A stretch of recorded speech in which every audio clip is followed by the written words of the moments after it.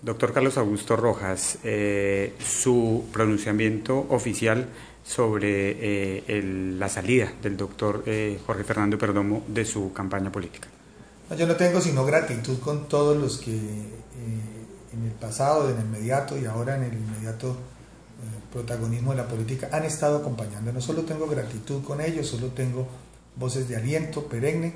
Las razones las tendrán y también sabemos que detrás de todo esto pues hay una cruzada perversa en contra de Carlos Augusto Rojas, porque nos han visto crecer, porque estamos solos en el medio, porque convocamos la institucionalidad del partido, porque conseguimos que de otros sectores, inclusive de los que van a votar por el presidente Uribe y de los pensionados y de sectores independientes, se han sumado a nuestra causa y esto le ha generado un tanto de escosor a algunos siniestros señores del mal que nunca dan la cara, pero que se hacen alianzas hasta con el diablo para tratar de hacer daño.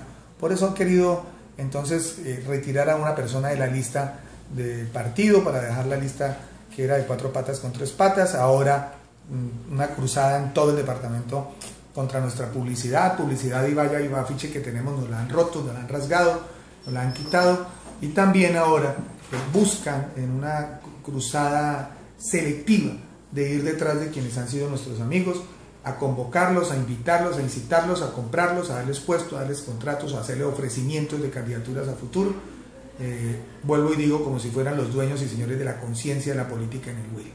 El ciudadano de bien, el ciudadano transparente, autónomo, independiente, sabrá que jugando con Carlos Augusto Rojas está jugando a, a la coherencia y a la independencia y a sacudirnos un poco de este mal, de este cáncer que le hace daño a la política, de estos señores siniestros oscuros que actúan como mafiosos aún en la política.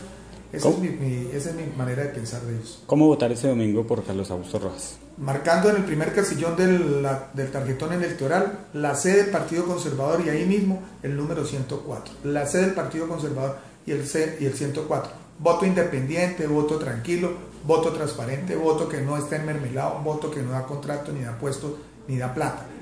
Me la juego con las bases de mi partido y con la gente transparente de Huila.